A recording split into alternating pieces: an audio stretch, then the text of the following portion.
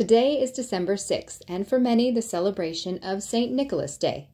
St. Nicholas, aka Kris Kringle or Santa Claus, is known for his generosity and jolly nature, but many of us know him also as one of the patron saints and protectors of seafarers. That's why you'll find him represented in many ways on board our celebrity ships. I might just add that Celebrity Cruises was started by the Chandris family, a prominent name in Greek shipping, and hence the strong Orthodox presence. St. Nicholas' watchful eye is in different forms, and with Celebrity's Greek heritage, it's usually a Greek Orthodox icon in various locations on board. You'll most definitely find him in the captain's cabin. This icon has been here since the startup of the ship, and these were given to me by some of my officers for protection and this one I got in Greece on my first command of the Celebrity Edge. St. Nicholas is in the engine control room and shares his name day with the birthday of our chief engineer, Yanni.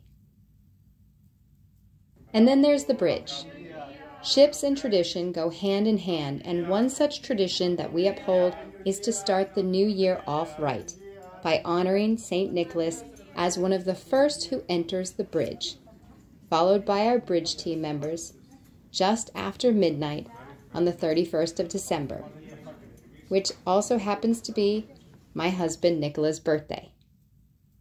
I have a lot of faith in Nicola, and not just because I married one, but because the resemblance is just uncanny. But it's not just St. Nicholas that looks after us. There is something else on our ships. We have holy water. Also from Greece to bless certain occasions like this one from 2019. During my handover with Captain Dimitri, he blessed me and the other officers on watch as I performed my first Celebrity Edge maneuver.